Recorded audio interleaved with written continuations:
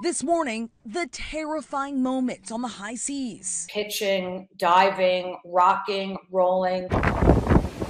It was 11 straight hours of pure hell. The Carnival Sunshine cruise sailing into rough waters during a storm on the last night of its voyage from the Bahamas to Charleston Saturday. Water streaming into cabins, damaging hallways and this gift shop. The winds sounded like a wind tunnel. 49 year old passenger Sharon Tutron and her mom Rosemary were on board celebrating. Sharon recently finished chemo and radiation for breast cancer.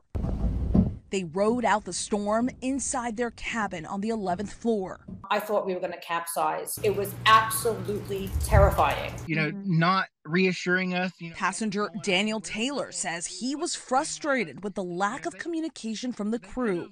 After the weather got really bad, nobody reached out. There was silence over the intercom system. But a Carnival spokesperson said that they made several announcements about the weather and the delay it caused in returning to Charleston, asking guests to use extra precaution.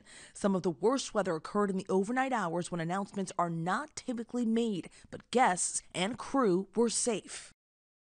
Authorities say just some guests and crew needed minor medical attention. The ship left the next day with new passengers off to another cruise.